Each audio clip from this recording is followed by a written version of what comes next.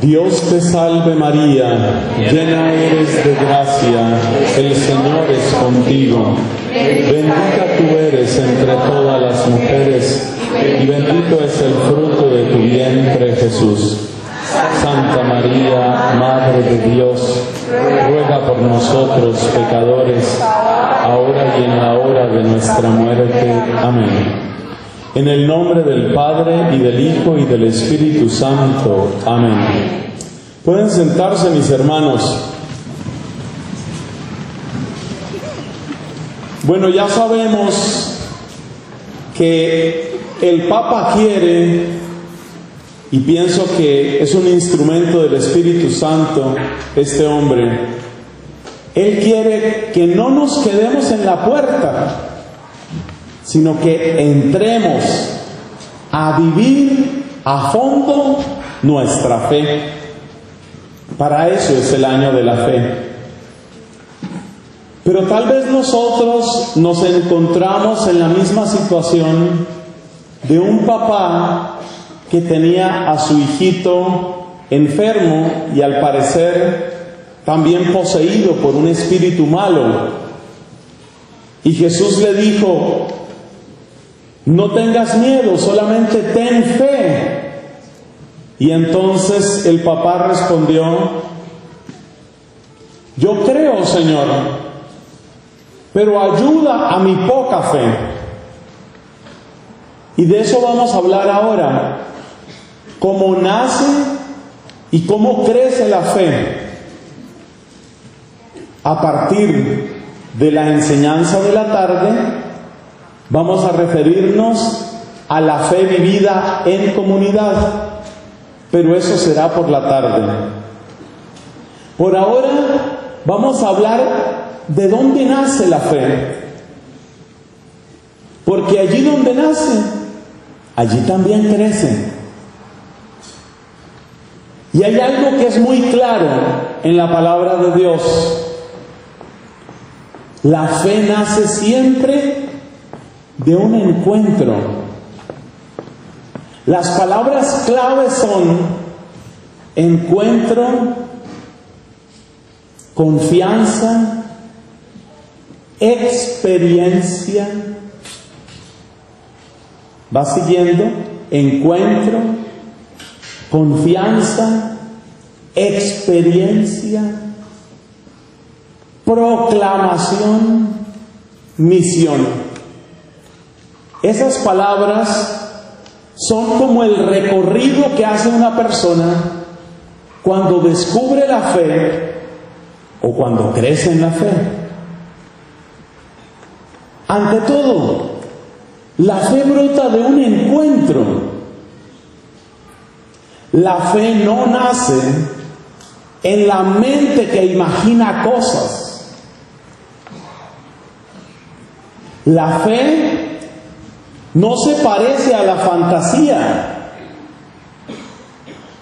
La fantasía es la proyección de mi deseo, lo que yo quisiera. Esa es la fantasía. Pero nuestro Dios no es un Dios imaginario, ni es un Dios imaginado. Nuestro Dios es un Dios vivo. Hay un salmo que compara al Dios vivo con los ídolos muertos. Y dice el salmista, refiriéndose a los ídolos muertos, tienen ojos y no ven, tienen orejas y no oyen, no hay aliento en sus narices, no hay aliento en su boca. Están muertos. Nuestro Dios está en el cielo y lo que quiere lo hace. La fe nace del encuentro con el Dios vivo. Cuando me encuentro con el Dios vivo, cuando Dios hace algo en mi vida, brota la fe. Hay una manera muy fácil de entender esto Y me alegro por aquellos que están tomando apuntes. Ahí veo, por ejemplo, un amigo que está tomando sus apuntes. Mira, la fe es siempre una respuesta. Dios se hace presente en mi vida y la respuesta a la acción de Dios es la fe. Si a mí alguien me dijera, bonita esta noche, ¿no? Yo le digo, no, es de día. Y él me dice, no, no, es de noche, es de noche. Es de día. No, no, cree, cree que es de noche. yo no voy a creer que es de noche porque estoy viendo que es de día. Lo que yo estoy viendo es que es de día. ¿Yo cómo voy a creer que es de noche?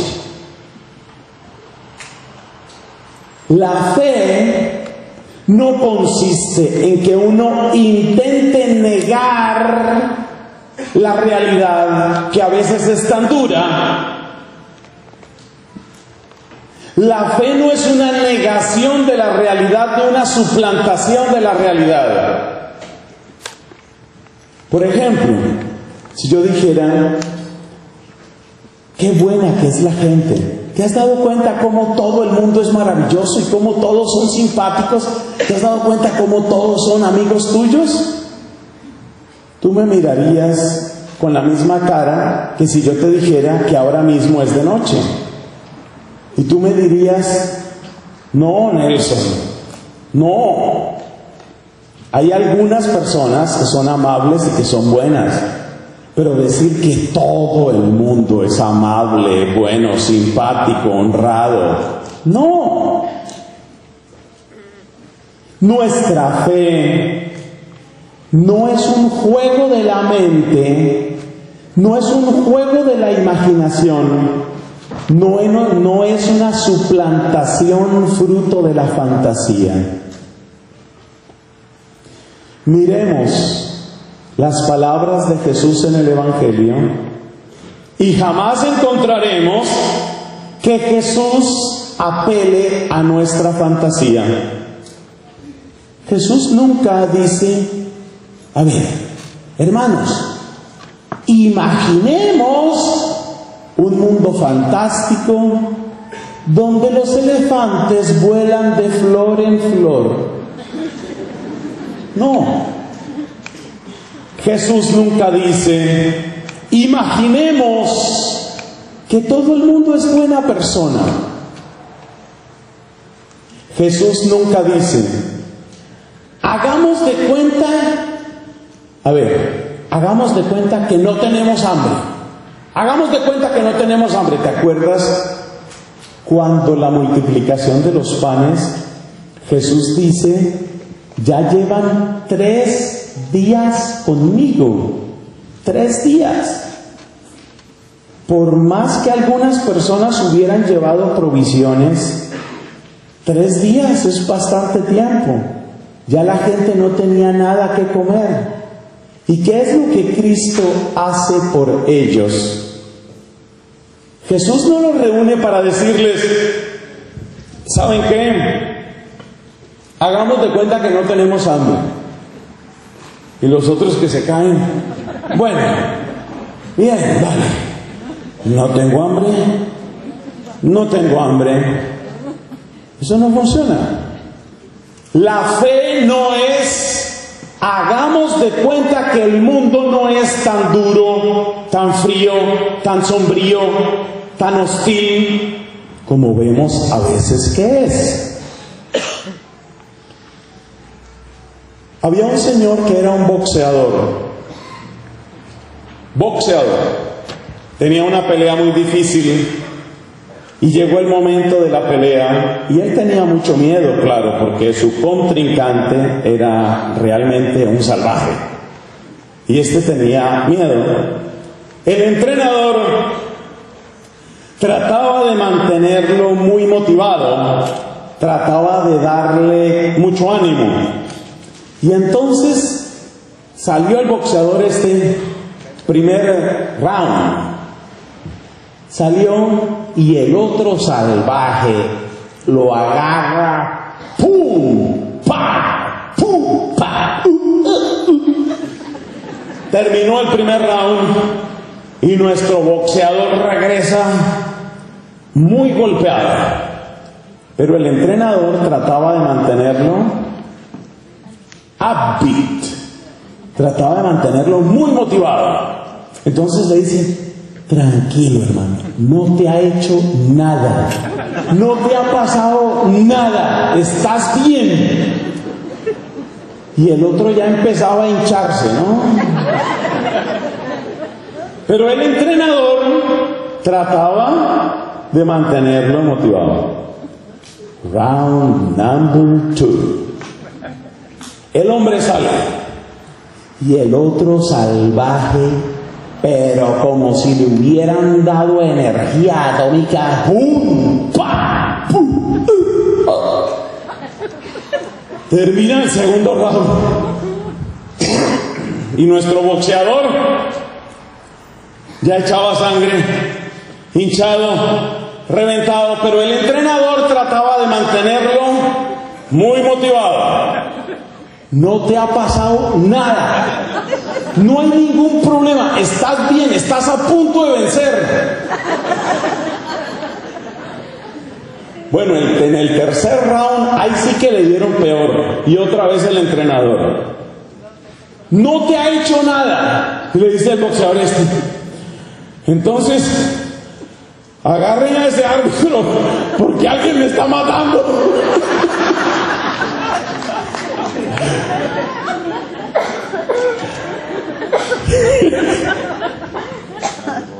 Hay gente que cree que la fe consiste en hacer de cuenta.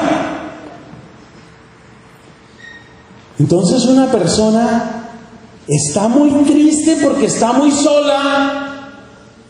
Y nosotros llegamos y le decimos, no, tranquilo, no estás solo. Chao. Adiós. Y el otro, ah, bueno, no estoy solo. Entonces, conversaré, será con los árboles o con mi perro. ¿Cuál es el lenguaje que tiene Jesús en el Evangelio? Es un lenguaje muy duro. Jesús dice, oren por sus enemigos. Analicemos nada más esa frase, podría dar muchos otros ejemplos, pero tomemos esa frase. Oren por sus enemigos. ¿Qué quiere decir esa frase? Pues yo saco una conclusión, y es que Jesús tenía perfectamente claro que uno sí tiene, sí tiene qué? Enemigos. La técnica de Jesús no es negar la realidad. La fe no es negación de la realidad. La fe no es ejercicio de la fantasía. La fe no es hagamos de cuenta que todo está bien, que no tenemos hambre, que no estamos solos, que no tenemos depresión, que no tenemos problemas, y hagamos de cuenta que el otro salvaje no nos está dando una golpiza. La fe no es eso. Cuando Jesús dice, el que no tome su cruz cada día no puede ser discípulo mío. ¿Qué está diciendo? Que la vida es dura. Cuando Jesús dice, oren por sus enemigos, ¿qué está diciendo? Que uno sí tiene enemigos. Yo les voy a decir algo. No hay nadie más real y más realista que Jesucristo. Por eso, los consejos y los mandatos que da Cristo son para seres humanos reales que pasan por problemas reales. Y si la vida es cruda, y si la vida es dura, y si Jesús lo sabe, entonces ¿en qué consiste la fe? Si yo estoy mal y tengo muchos problemas y Jesús lo que hace es decirme, yo sé que tienes muchos problemas, ¿eso para qué me sirve? Pues mira, es que en esa realidad que tú vives, el Señor llega y transforma. Y la transformación que trae Jesucristo es una transformación real. Y es la realidad de un cambio en mi vida lo que hace que yo diga, a ese Cristo yo le creo. Por eso fíjate las palabras que dijimos hace un rato un encuentro, una confianza, una experiencia. Esas son las tres primeras palabras y son fundamentales. Encontrarse con Cristo, descubrir que puedo confiar en Cristo, tener la experiencia de su poder en mi vida, la experiencia de su amor misericordioso y transformante. Tener la experiencia de su consuelo, de la luz que me da, de la nueva perspectiva que abre en mi historia. Tener la experiencia de su compasión incontenible. Tener la experiencia del fuego y la calidez de su espíritu y cuando yo tengo esa experiencia, entonces yo puedo celebrar, yo puedo proclamar, yo puedo contar a otros, no un cuento de la fantasía, sino un hecho de mi vida.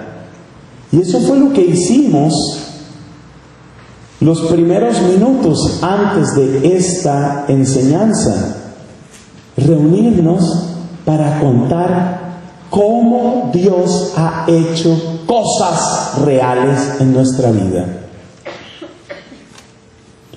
Y cuando yo proclamo que Cristo ha llegado a mi vida, me preparo para ser misionero. Me vuelvo misionero. Anoche estábamos en la reunión con los jóvenes y ustedes saben que hay un grupo que se llama Mi Cristo Joven. ¿Han oído hablar de un grupo que se llama Mi Cristo Joven? Sí. ¿Hay aquí jóvenes del grupo Mi Cristo Joven? Mire, allá veo unas, unas manos levantadas. Eso es, allá está la gente de Mi Cristo Joven. A ver, para saber cuántos vinieron, vamos a hacer este ejercicio. Los de mi Cristo joven van a decir fuerte y en voz alta, así mejor dicho, un grito, Jesucristo vive. A ver cómo se oye, jóvenes. Jesucristo vive. ¿Ven? Ahí está. Ahí está.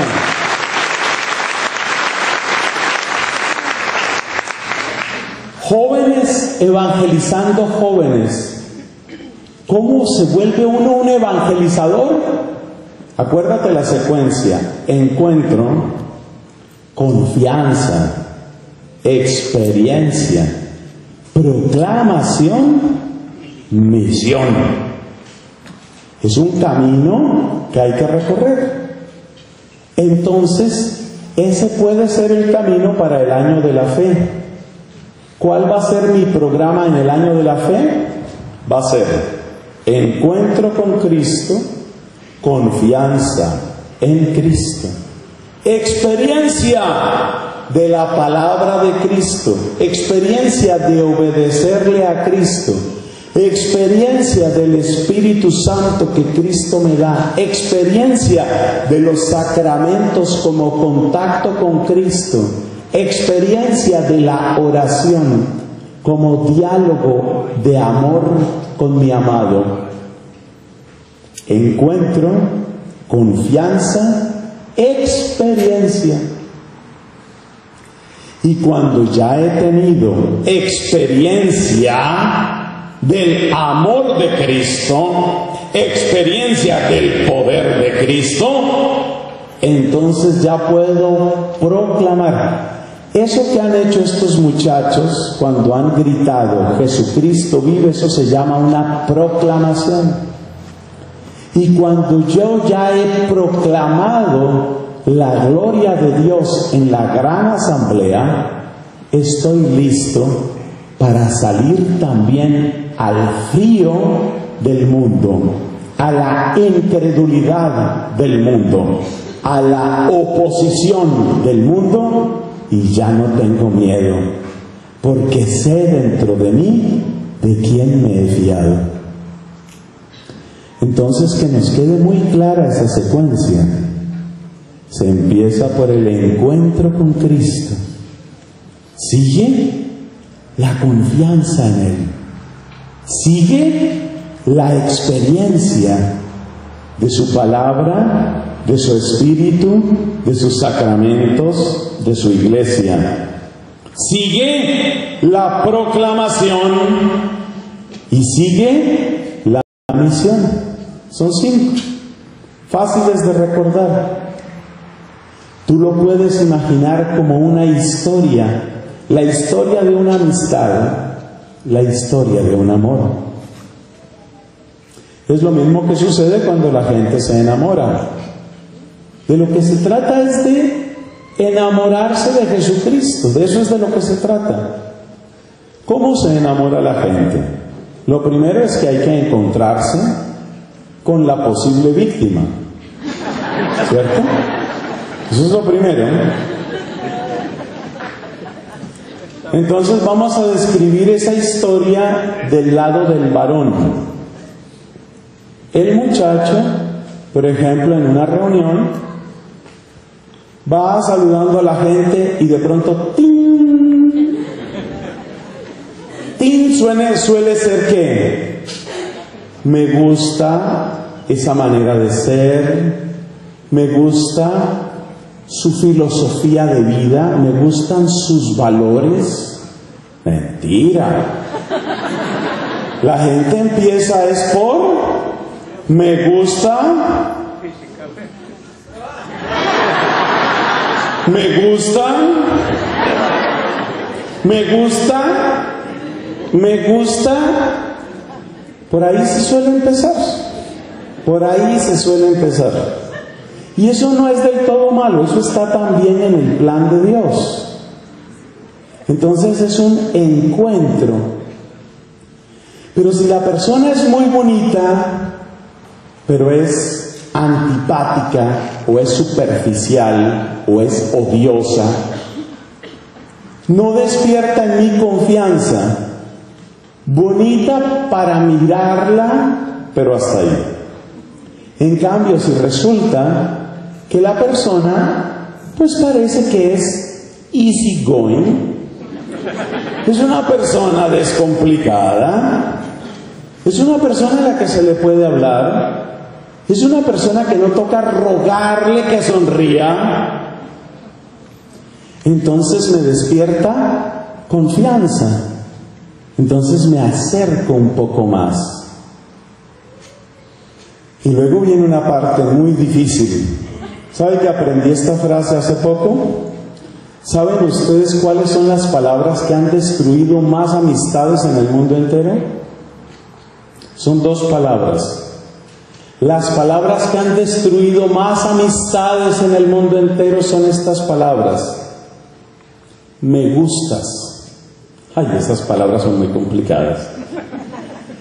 Porque en el momento en el que el muchacho dice esas palabras u otras equivalentes, está queriendo salir del ámbito de la confianza del ámbito de simplemente somos amigos al ámbito de ¿será que podemos ser algo más?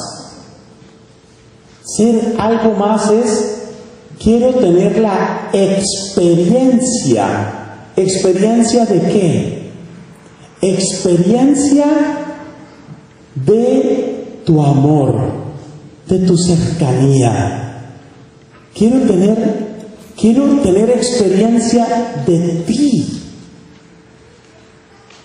Esa experiencia se completa en el momento en el que las personas se comprometen en un matrimonio. Por eso la Biblia utiliza el verbo conocer de un modo muy especial.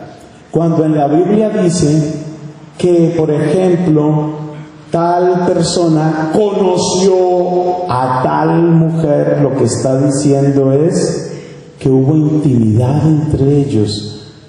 Es algo tan bello. ¿Cómo ha pensado Dios las cosas? Te amo, siento confianza contigo, me siento muy bien contigo y quiero y quiero tener experiencia de todo lo que tú eres quiero entregarme a ti, quiero que te entregues a mí. Es una entrega mutua, es una experiencia profunda. Por supuesto, la iglesia enseña que el lugar propio de esa experiencia es el matrimonio. Porque una persona no puede estarse entregando completamente, pensemos ahora por un instante, sobre todo en la situación de la mujer,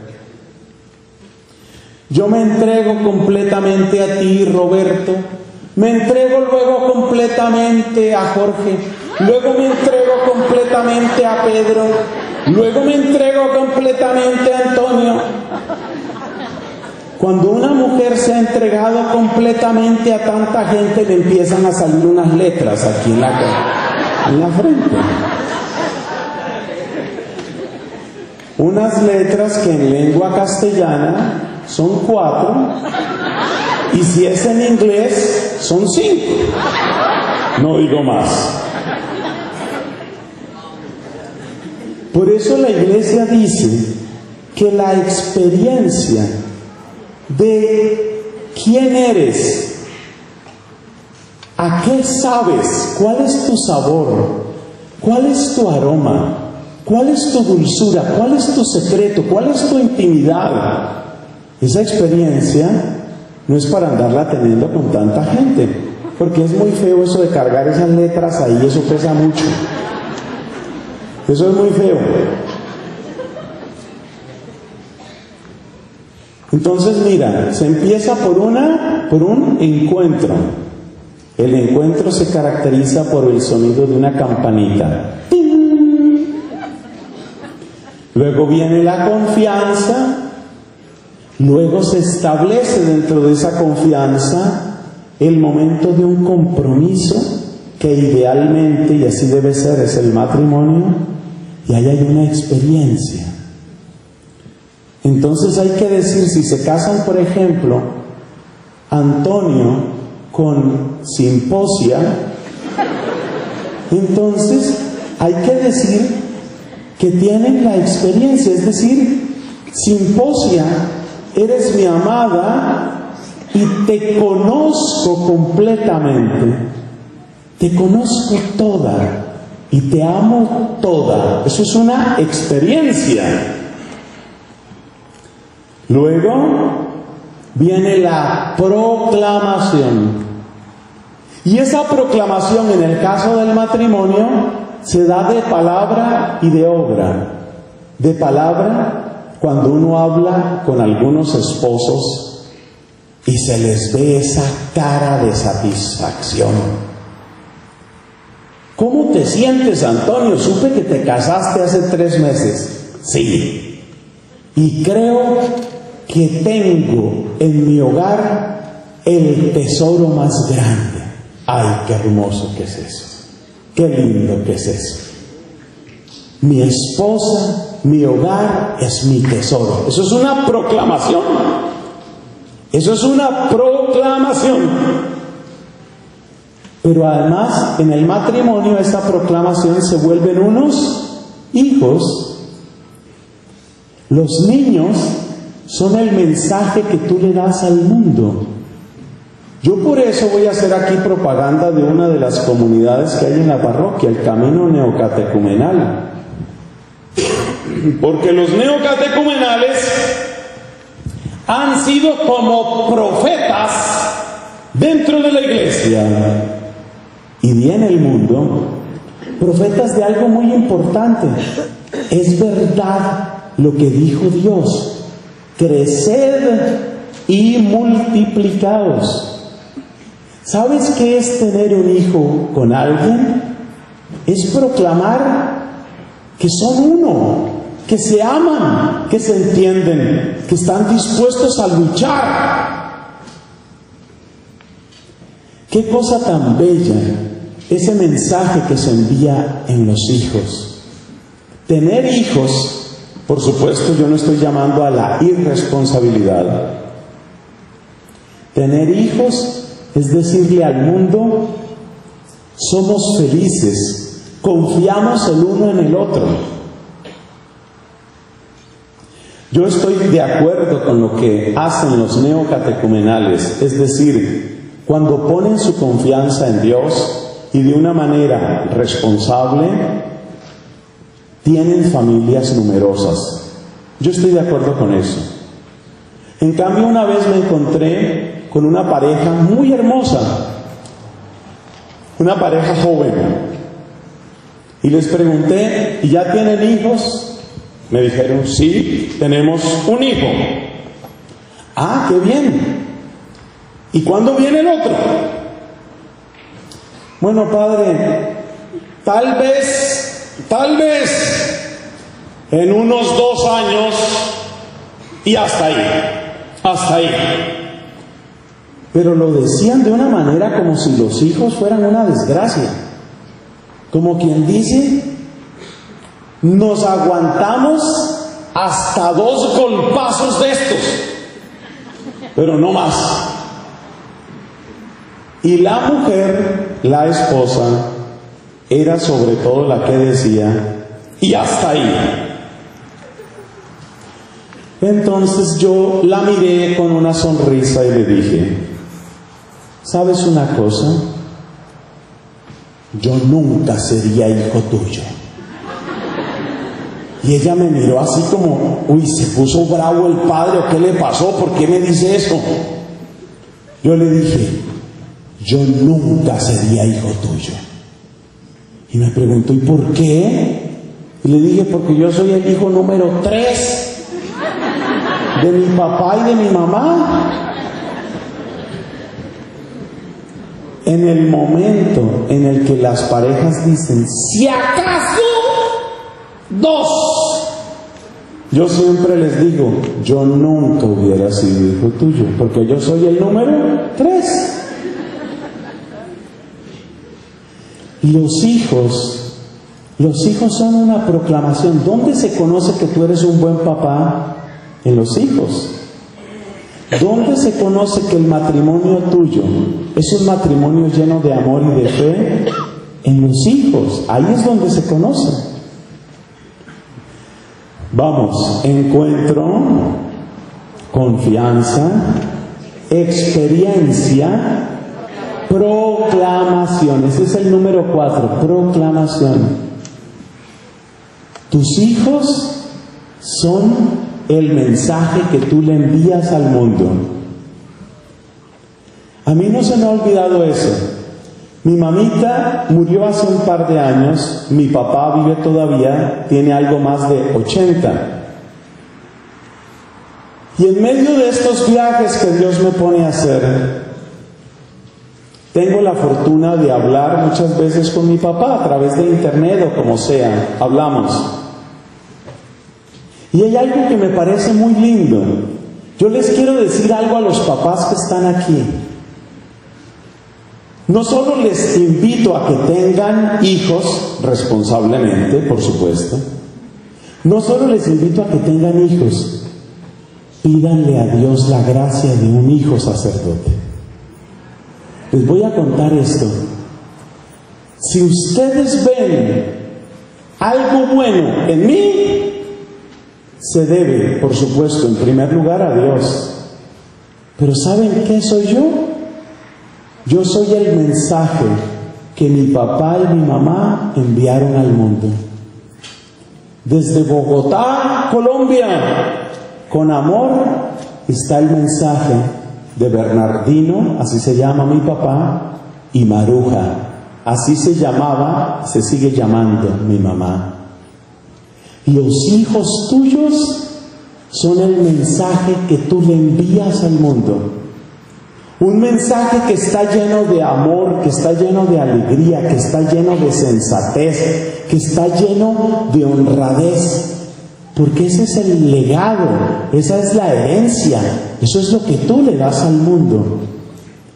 Las parejas que pudiendo tener no tienen hijos, en el fondo lo que están diciendo es, no tenemos nada que dejarle a este mundo. ¿Qué le van a dejar? ¿Unos millones? ¿Para quién? ¿Para los abogados? ¿Para el gobierno? ¿Para quién? Entonces, encuentro, confianza, experiencia, proclamación. Tus hijos son tu gran tesoro, son tu proclamación.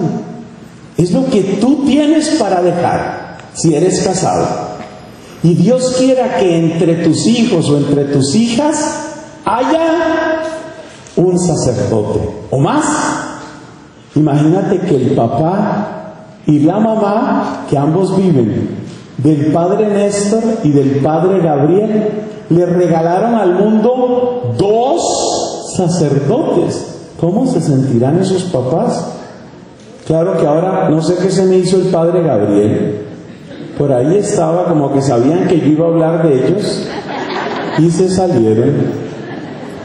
Mira, ahí está el padre Gabriel. En la persona de ellos felicitemos a esos papás con un aplauso.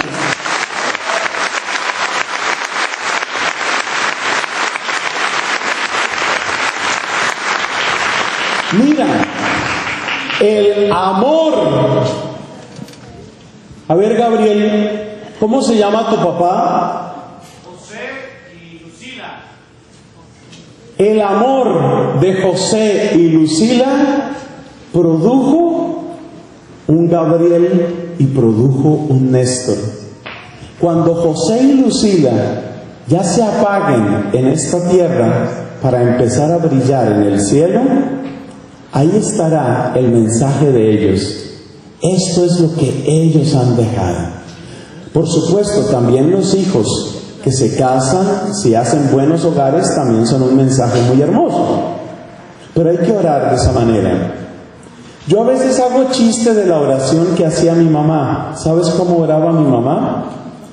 Mi mamá oraba de esta manera, Dios mío, dale hijos sacerdotes a todas mis amigas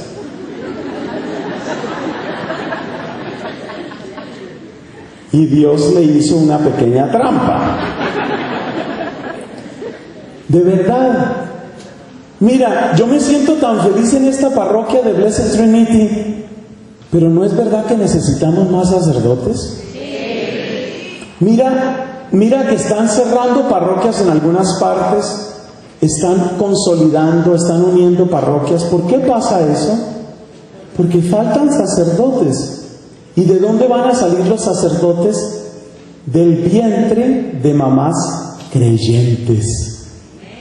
Las mujeres que tienen puesta su fe en Dios, las mujeres que forman hogares santos, las mujeres que piden mucho a Dios, con frecuencia obtienen el regalo de hijos sacerdotes. Y esos los estamos necesitando. Necesitamos en la arquidiócesis de Chicago, necesitamos en muchos lugares del mundo buenos, abundantes, santos sacerdotes.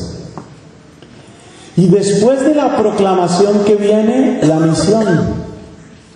Y es tan bello ver cómo en los distintos ministerios hay muchos que se van comprometiendo y que pueden hablar de eso que ha sucedido en sus vidas. Por ejemplo,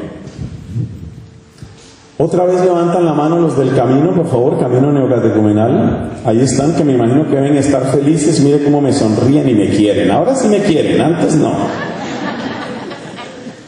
Oiga, miren una cosita los del camino neocatecumenal. Otra razón por la que me parece muy hermoso lo que ustedes están haciendo, todos los movimientos son importantes, pero hay cosas que hay que destacar a veces. Miren, ustedes con su testimonio hacen misión.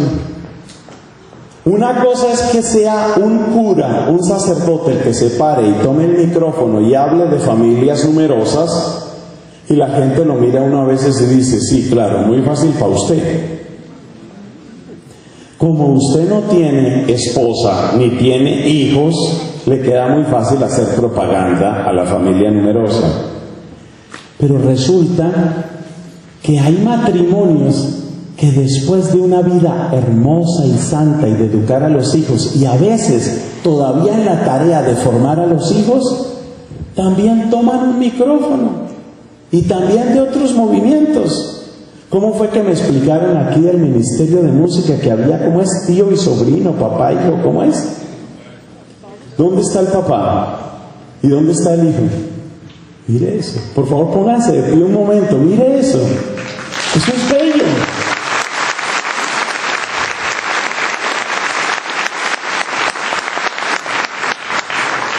Eso es bellísimo. Este es un papá que le está contando al mundo a través de su hijo lo que él hizo en esta tierra. Y es un papá que a través de su ministerio, de sus canciones, a través de su evangelización, está haciendo misión. Entonces, hermanos, ¿cómo es el proceso para nacer en la fe y para crecer en la fe? Es encontrarse con Cristo, confiar en Cristo, eso es entregarse a Cristo tener experiencia del amor de Cristo, vivir su poder, vivir su espíritu, vivir sus sacramentos, vivir su palabra, proclamar que Él está vivo, que hay un Dios vivo que ha obrado en tu historia personal. Y una vez que estás fuerte y una vez que te has formado, a trabajar, se necesitan muchos obreros en la viña del Señor. A trabajar, a hacer misión. Repasemos en esos cinco pasos, y con esto terminamos nuestra segunda enseñanza, ¿qué quiere decir ese encuentro con Cristo? ¿Cuál es la mejor manera de vivirlo? ¿Y cómo se van dando los otros pasos? Hay algo que hay que observar en los evangelios. ¿Quiénes son las personas que rodean a Jesucristo? Enfermos, pecadores, poseídos por el demonio algunos, rechazados por la sociedad, discriminados, discriminadas, la mujer muchas veces discriminada. Esas son las personas que están con Cristo. Miremos el caso, por ejemplo, de un centurión romano. Este centurión tenía una posición de poder, este centurión tenía dinero, este centurión tenía salud, ¿Cómo se encontró él con Cristo? Porque un amigo suyo, al que él quería mucho, uno de sus criados, estaba mal. Lo que quiero destacar es esto.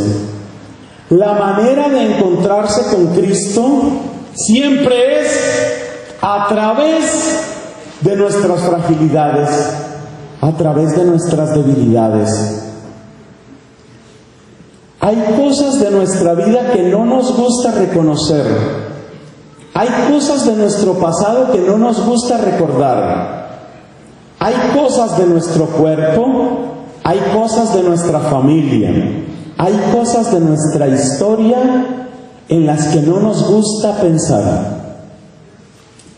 Pero muchas veces la manera de encontrarse con Cristo es a través de esas cosas, las que no me gustan. ¿Cuántas veces sucede que hay personas que se han encontrado con Cristo y luego cuando dan su testimonio dicen, yo había tocado fondo? Es decir, había caído tan bajo que cuando me di cuenta que no tenía a nadie, volteé a mirar y el único que estaba ahí para darme una mano se llamaba Jesucristo. Entonces, ¿cuál es la manera de encontrarse con Cristo? Yo voy a hacer esta comparación tomada de un pasaje de la Biblia. Resulta que un fariseo muy importante y de muy buena posición invitó a Jesús para que comiera en su casa. Mientras Jesús estaba cenando en casa del fariseo, una mujer pecadora, pecadora pública reconocida, entró al lugar y empezó a llorar porque se reconocía pecadora. No dijo una palabra, simplemente se postró a los pies del Señor, con su llanto le lavaba los pies y con los cabellos se los secaba. Ambos estaban cerca de Jesús. El fariseo lo tenía al lado y la pecadora estaba a sus pies. Ambos estaban cerca, pero solo uno de los dos se encontró verdaderamente con el amor de Dios. Y no fue el fariseo, fue aquella mujer. ¿Por qué?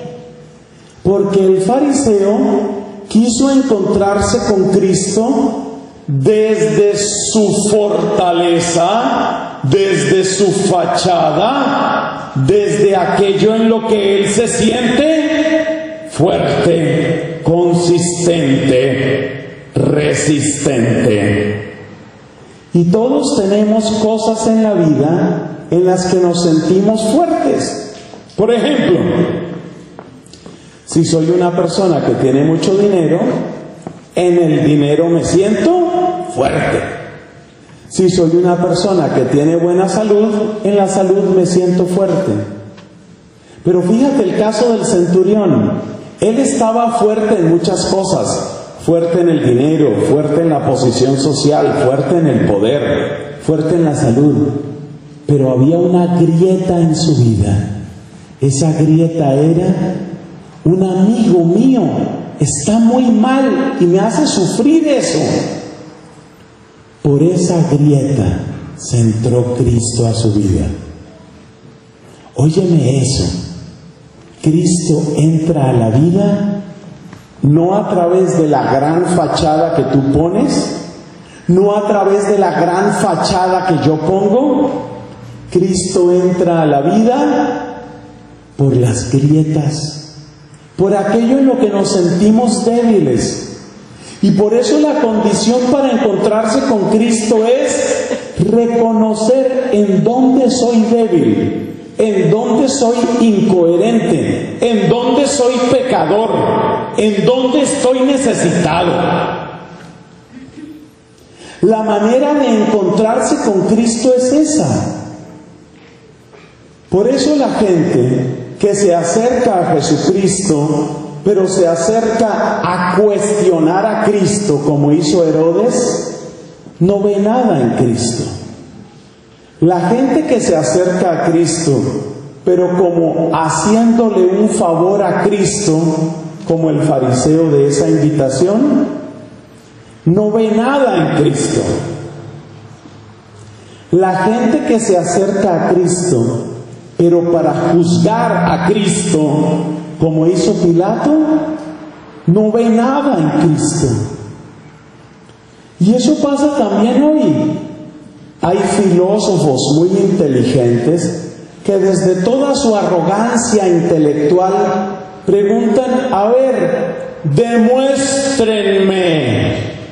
Se sienten fuertes en su inteligencia, se sienten fuertes en su erudición y por eso preguntan, pero preguntan no con la humildad del que tiene una necesidad, sino con la arrogancia del que se siente fuerte por unos estudios o por la ciencia o por la filosofía. Esos no encuentran nada. ¿Cómo puede uno encontrarse con Cristo si uno primero encuentra la propia necesidad?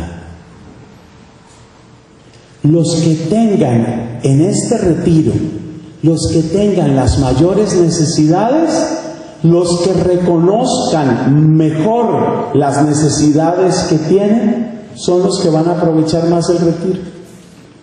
Por ejemplo, descubro que soy un incoherente, que siempre ando diciendo una cosa y haciendo otra. Descubro que soy un pecador. Descubro que le he hecho mucho daño a mi familia. Descubro que he sido injusto con mi esposa y con mis hijos.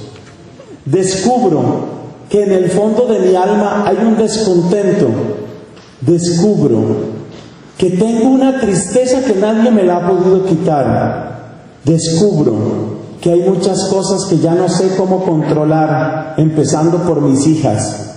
Descubro que aunque hay mucha gente que me tiene miedo, poca gente verdaderamente me ama. El día que tú descubres la grieta, por esa grieta espera la luz, por esa grieta puedes esperar a Jesús. Por la grieta entra la luz, piensa tú una habitación que está completamente cerrada, ladrillos del piso al techo. De repente se hace una grieta. Por esa grieta entra la luz y con la luz entra Jesús. Por esa grieta entra la luz y por esa luz entra Jesús. Entonces, ¿cuál es la tarea nuestra para que haya un verdadero encuentro? no disimular las grietas. Porque hay gente que cuando descubre una grieta en la casa, lo único que hace es echar un poquito más de estuco o un poquito más de yeso, un poquito más de pintura, ya no se ve, ya está bien, ya está bien. Has perdido una oportunidad magnífica de encontrarte con Cristo. Y nosotros, ¿sabes cuándo hacemos eso con las grietas? Cuando nos ponemos máscaras. Las máscaras son la manera como nosotros disimulamos las necesidades que tenemos. Y yo siempre hablo de las máscaras que utiliza mucha gente en Facebook. Porque Facebook ya tiene más de mil millones de personas. Y en Facebook hay muchísimas máscaras, muchas. Entonces, ¿qué hay que hacer? Quita esa máscara, quita esa pintura falsa. Hay una grieta en tu vida, hay un dolor en tu alma. Reconócelo. Reconoce que eres un pecador. Reconoce que necesitas perdón. Reconoce que necesitas salvación. Por la grieta entra la luz y por la luz llega Jesús. Por la grieta entra la luz y con la luz llega Jesús. Y esa luz es la que me muestra que estoy cansado, que estoy enfermo, que soy pecador, pero ya no es una tragedia. Cuando yo descubro mi pecado, delante de Jesucristo ya no es una tragedia. Descubrir mi pecado yo solo es una tragedia. Pero descubrir la enfermedad junto al médico no es una tragedia. Para eso está el médico y este es el mejor de los médicos. Ese es el verdadero encuentro. una grieta. ¿Cuál es la grieta en tu vida? ¿Son tus hijos? ¿Es tu trabajo? ¿Es una frustración que tienes? ¿Es un resentimiento que traes? Hay gente que tiene resentimientos desde toda la vida, de toda la vida. Yo tengo un resentimiento terrible porque mi papá era un hombre violento, que nunca nos dio un abrazo, que nunca nos dio cariño. ¿Ves? Tienes una grieta. No la tapes, no le eches pintura, no le pongas una máscara. Por la grieta entra la luz y con la luz entra Jesús. Eso hacemos en una reunión de estas. El día de hoy, lo último que vamos a hacer el día de hoy es una oración preciosa ante el Santísimo. Y lo que le vamos a pedir, y esto lo aprendí yo en la renovación carismática, lo que vamos a, pedir al Señor es que a través de nuestras grietas llegue Él y nos sane. Y cuando llega Jesús y te sana, porque tú le has dado confianza, la confianza que es, la confianza es mostrarle la grieta a Jesús. Esa es la confianza. Cuando tú le has dado confianza a Jesús y le has mostrado la grieta, Él entra. Y cuando entra Jesús, tú tienes experiencia. Y cuando tienes experiencia, luego proclamas. Y cuando ya estás firme en la proclamación, te vuelves un misionero. Encuentro, confianza, experiencia, proclamación, misión. Vamos a ponernos de pies en este momento para pedir al Señor que no volvamos a esconder nuestras grietas no voy a volver a esconder las grietas de mi vida, ya no más. Voy a encontrarme con el Señor. Y si hay una grieta en mi vida, lo repito otra vez porque me gusta esa frase, por la grieta entra la luz y con la luz entra Jesús. Tengo un vicio que me avergüenza, no se lo voy a esconder a Cristo. Tengo un pecado que arrastro hace años, no se lo voy a esconder a Cristo. Tengo un dolor profundo en mi alma, porque hace mucho tiempo no sé de un hijo, porque nunca le pedí perdón a mi papá y ya murió. Tengo un dolor profundo, porque le hice daño a muchas personas y ahora ni siquiera sé dónde están. Tengo un dolor profundo porque no me he sentido valorado nunca. Tengo un dolor profundo porque me ha hecho falta un buen abrazo hace mucho tiempo. Es mi grieta. Tú tienes la tuya. Cada uno tiene alguna. Y algunos estamos bastante agrietados. ¿Sabes cómo llama la Biblia al que está muy agrietado? Lo llama un corazón contrito y humillado. Y la palabra de Dios dice, un corazón contrito y humillado, tú no lo desprecias. Hermano, si tu corazón está contrito, o sea, triturado, si todos son grietas, si tu corazón está contrito, yo hoy te digo en el nombre del Señor, a través de todas esas grietas, Jesús quiere llegar. Por la grieta llega la luz y con la luz llega Jesús. Viene Jesús a tu vida y tú lo vas a recibir. Y así nace la fe. Esa es la fe. Y una vez que tú has experimentado a un Cristo vivo, vivo, vivo, vivo, una vez que has experimentado que Él llega y no llega a destruir, sino a sanar él llega a construir. Él llega y te dice la misma palabra que le dijo a la mujer adúltera, y mucho peor que ella soy yo. Nadie te ha condenado, nadie, Señor. Y Jesús le dijo, yo tampoco te condeno. Eso es lo que te dice Jesús. Yo no te condeno. Y Jesús también dice, yo he venido no para juzgar y condenar al mundo, sino para salvar. Y cuando uno ve, uno es como un niño asustado y uno ve que están las grietas, pero cuando uno ve que a través de esa luz llega Jesús